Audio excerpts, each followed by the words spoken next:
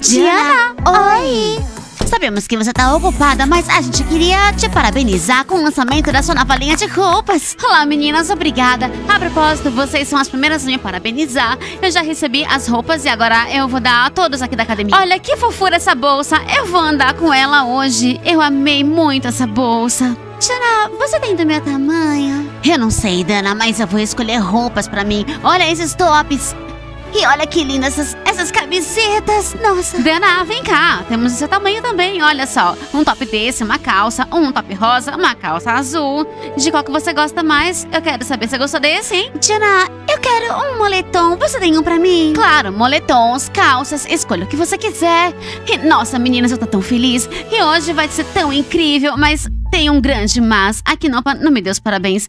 E ela tava esperando pela minha linha de roupas. Esqueça isso, Diana. Ela e as suas amigas vão engasgar com ciúmes quando verem a sua coleção, tá bom? É isso. Quer saber, meninas? Eu vou pegar algumas roupas e vou dá-las pra Quinopa. Afinal, ela é minha ex-melhor amiga. Eu acho que tudo bem. Eu gosto desse moletom azul aqui, Diana. Tudo bem, Dana. Então pega. E você escolheu o que você quer, Nastia? Você já achou? Ah, sim, Diana. Eu posso usar esse top e e, e, essa calça? Claro, eu vou te dar o seu segundo tamanho. Espera só um pouco. Seremos as melhores hoje, hein? Tire sua coroa, meninas.